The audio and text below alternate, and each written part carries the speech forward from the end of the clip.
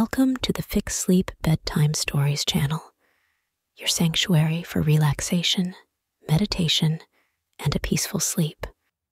Immerse yourself in the soothing embrace of sleep inducing tales, carefully crafted to transport you to mysterious lands. Let the gentle rain and serene sounds of nature accompany you on this journey to relaxation. Say goodbye to restless nights and welcome the embrace of a restful sleep with our magical sleep stories. So, let the tale begin. The story of the Enchanted Bride. Chapter 1 The Enchanted Bride. In the quaint village of Eldwater, nestled along the meandering banks of the Silvershade River, an ethereal presence haunted the twilight hours. Here, the river, wide and reflective, bordered the southern edge of the town, its waters whispering secrets of old. It was along these misty banks that the enchanted bride, a spectre wrapped in the tragedy of unfulfilled vows and dark magic, wandered. The bride, known to the villagers as Lady Alara, had once been the joy of Eldwater. With hair like spun gold and eyes as deep as the river itself, she had been betrothed to a noble from a distant land. However, on the eve of their wedding, an evil witch, envious of Alara's happiness and beauty, cursed her. At the altar, instead of pledging her troth, Alara vanished in a swirl of dark smoke, leaving behind only a whisper of her plea for salvation. Since that cursed day, each night without fail, Alara's ghostly figure could be seen walking slowly by the river bank. She wore her wedding dress, now a gown of shimmering silver that flowed around her like the river's own currents. The dress, adorned with pearls and moonstones, caught the moonlight, casting eerie reflections on the water's surface. Her presence was accompanied by a soft lament, a melody of love and loss that tugged at the heartstrings of even the most hardened villagers. The townsfolk of Eldwater, though initially sympathetic to Alara's plight, grew fearful of the witch's lingering power. Parents ushered their children away at dusk, and lovers steered clear of the riverbanks, lest they attract the witch's ire. Only the old willow tree, gnarled and wise, bore witness to the bride's sorrow, its drooping branches seeming to caress her as she passed. One evening, as the sun dipped below the horizon and shades of gold and purple lit up the sky, a murmur passed across Eldwater a wandering bard, full of curiosity and bravery, went out to find out the real story behind the enchanted bride. With lute slung over his shoulder, he went out for the river bank as dusk was falling, determined to break the enchantment that had imprisoned Alara. Alara's form shimmered in the twilight, her sorrow evident in the chilly air as the bard drew near he started to pluck a tune, a song that was supposed to be able to speak with ghosts about old magic and forgotten runes. The notes drifted across the waves and merged with Alara's own mourning. The sounds of the night seemed to pause in awe, and for a time the entire river seemed to listen. Alara turned towards the sound her expression one of longing and desperate hope. The bard continued to play, his voice joining the melody, singing of a love that transcends curses and of bravery that confronts the darkest spells.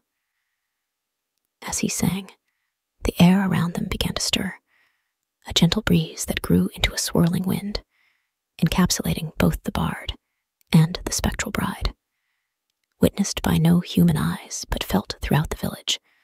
A moment of profound magic ensued. The wind howled, the river roared, and the willow tree shook as if in the throes of a great storm. Then, as suddenly as it had begun, the tumult ceased. The night returned to calm, the river once again a silent mirror under the moon's watchful eye.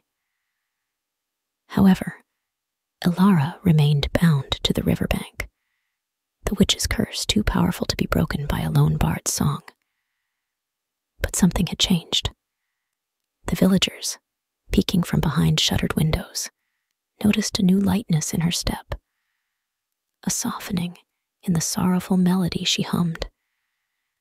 It was as if the bard's visit had rekindled a flicker of hope within her spectral heart. Word of the bard's encounter spread, reaching the ears of a young fisherman known for his courage and kindness.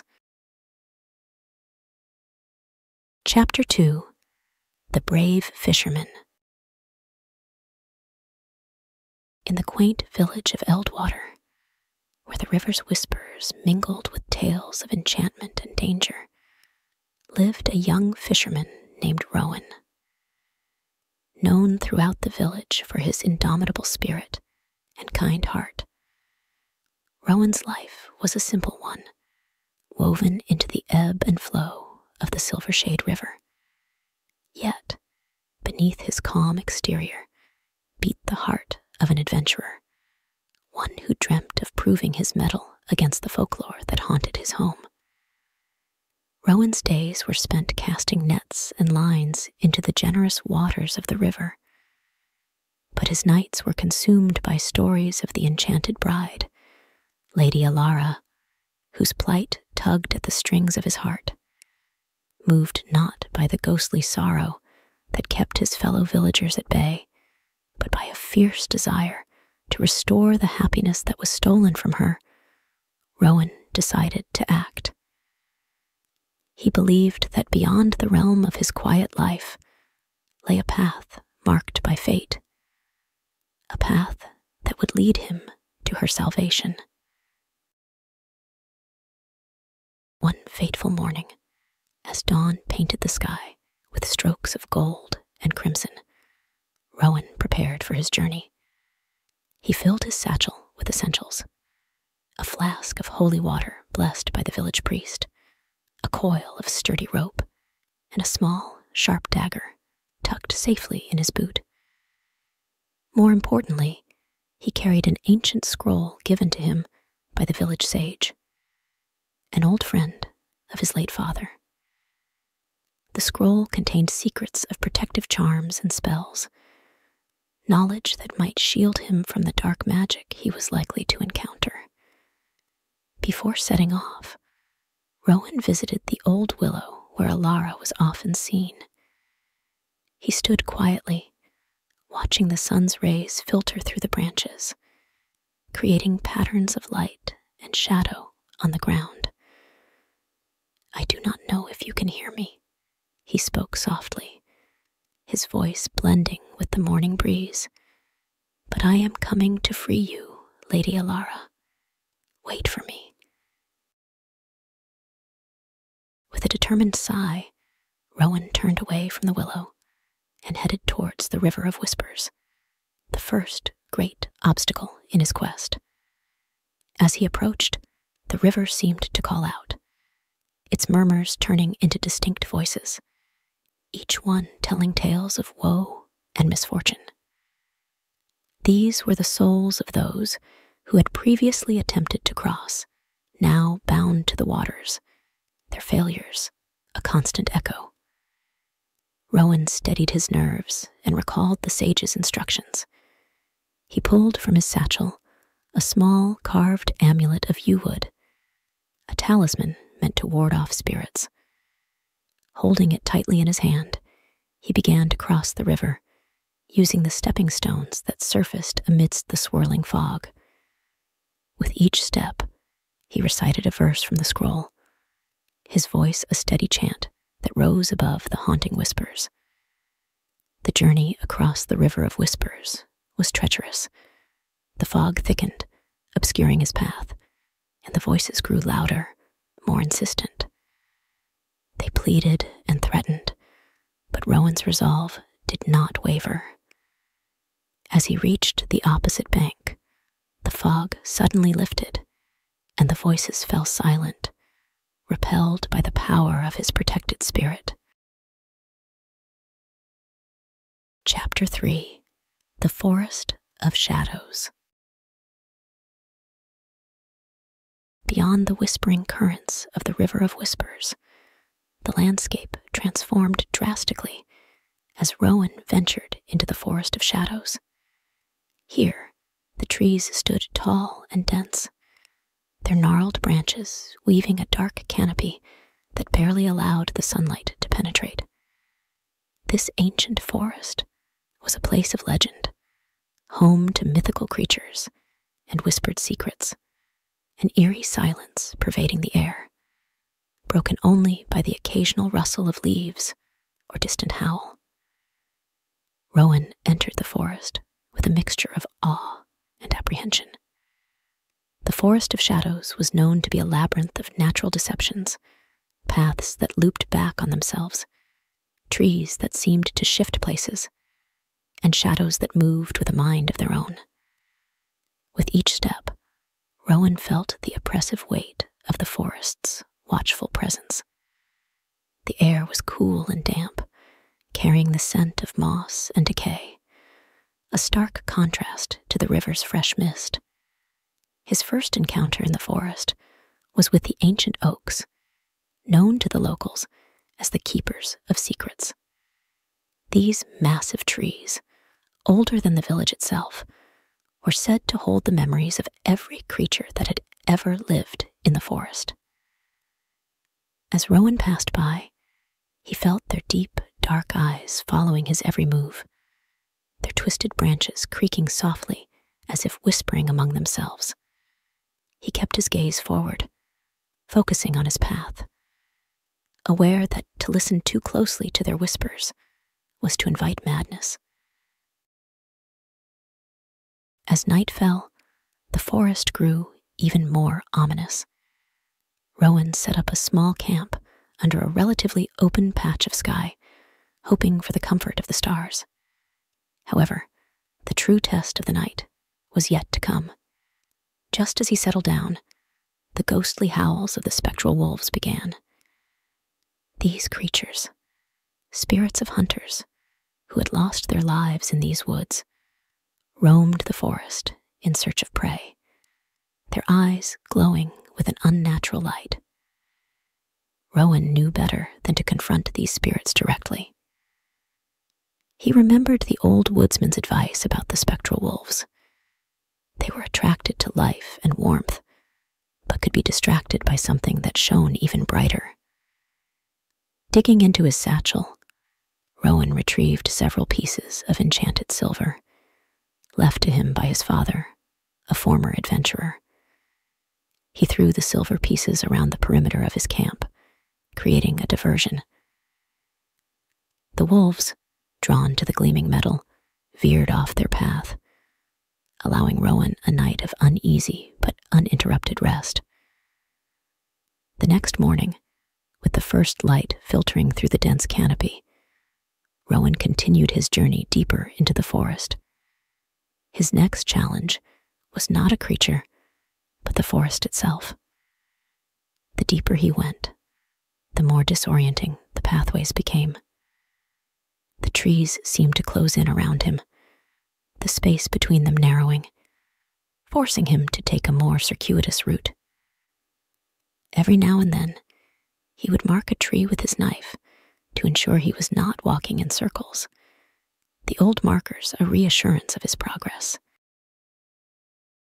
After hours of navigating this natural maze, Rowan stumbled upon a clearing that was not marked on any map given to him by the village sage. In the center stood an ancient temple, its stones covered in ivy and lichen, almost as if the forest had tried to swallow it whole. The temple was rumored to be a place of power, built over a ley line that carried the earth's ancient energies. It was here, the legend said, that one could find knowledge hidden from the ordinary world. The temple's heavy stone door was ajar, inviting yet foreboding. Rowan pushed it open, the sound of stone grinding against stone echoing ominously. Inside, the air was thick with the scent of incense and damp earth, the walls lined with intricate carvings and faded frescoes that depicted the history of the enchanted bride and the origins of the curse. Rowan spent hours poring over the carvings, using the torchlight to illuminate the ancient scripts. He learned of the witch's hatred for happiness and love, which fueled her dark magic.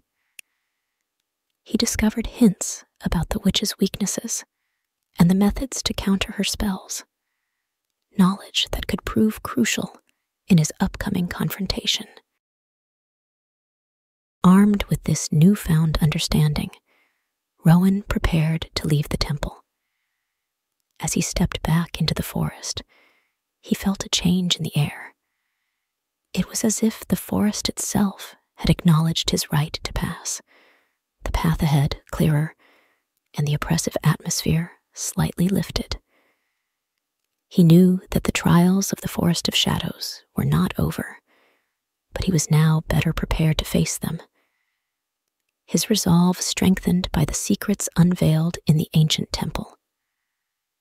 With the temple behind him, the forest gradually began to thin, signaling the end of this leg of his journey. As he neared the edge of the forest, the sun broke through the canopy in earnest, the light feeling like a warm welcome after the darkness of the woods. Ahead lay the rugged terrain that would lead him to the waterfall known as the Vale of Tears and the witch's hidden lair. Rowan's journey through the forest of shadows had tested his courage, his wisdom, and his endurance. He had faced spectral wolves, navigated a bewildering maze, and uncovered ancient secrets. Each step had brought him closer to freeing the enchanted bride, and with each trial overcome, his belief in his mission only grew stronger. Now, with the forest behind him and the mountains ahead, Rowan felt a surge of hope. The final confrontation with the witch awaited, and he was ready to end the curse and restore peace to his beloved Eldwater. Chapter 4 The Witch's Lair After navigating through the dense, oppressive forest and armed with the ancient knowledge gleaned from the temple, Rowan emerged into a stark landscape that was as foreboding as any shadowed woodland.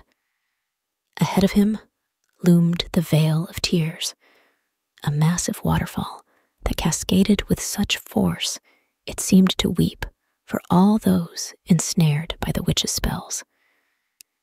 Behind this curtain of water lay the witch's lair, a cavern system carved into the heart of the mountain, shrouded in mystery and dark magic. The journey to the waterfall was arduous. The terrain grew rocky and treacherous, the path narrow and winding. Each step took Rowan higher into the mountains, the air growing cooler and the wind sharper. The sound of the Vale of Tears grew louder with each passing hour, a constant reminder of the perilous confrontation that awaited him. Birds of prey circled overhead, their cries piercing the silence that hung over the mountain like a shroud. As Rowan approached the waterfall, he felt a chill that had little to do with the mountain air. The water thundered down from the heights, its spray creating a perpetual mist that soaked him to the bone. He knew that crossing through the waterfall was the only way to enter the witch's lair. Gathering his courage, he secured his belongings, protected the ancient scroll in a waterproof bag, and stepped into the icy waters. The shock of the cold water was immediate and biting.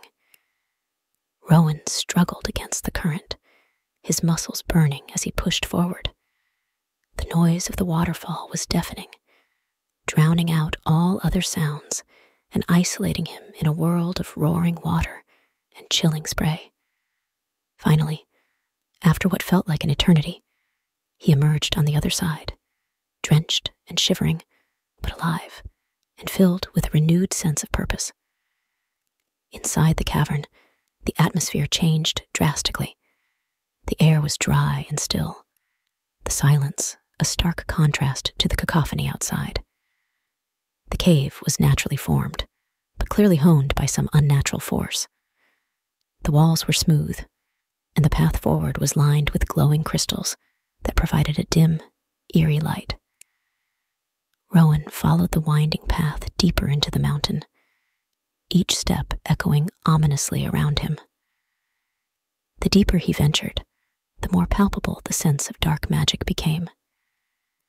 Whispers seemed to float in the air, voices of past victims, or perhaps illusions cast by the witch to unsettle intruders. Rowan clutched the amulet of Yew-wood, feeling its warmth as a counter to the cold magic that seeped into his bones. Suddenly, the path opened into a large chamber. This was the heart of the witch's lair, and there, surrounded by an array of arcane artifacts and bubbling potions, stood the witch herself. She was as menacing as the legends had described, her eyes dark pools of malevolence, her fingers ending in sharp, talon like nails. She wore a cloak that seemed to absorb light, making her appear as part of the shadows themselves. So, the fisherman dares to enter my domain, the witch hissed, her voice a mix of amusement and scorn. Do you think you are the first to try and fail, boy? Rowan did not falter. He remembered the words inscribed in the temple, the weaknesses of the witch that were his to exploit. He held out the amulet, its glow brightening against the darkness of the cavern. I come not just as a fisherman, but as a bearer of ancient truths and rights. I will end your reign of sorrow, Rowan declared, his voice steady. The witch laughed, a sound that echoed off the stone walls and sent chills down Rowan's spine. She raised her hands, and dark energy began to swirl around her, forming a barrier of shadowy tendrils. The battle that ensued was fierce and chaotic. Rowan dodged blasts of dark magic countering with spells of protection and light.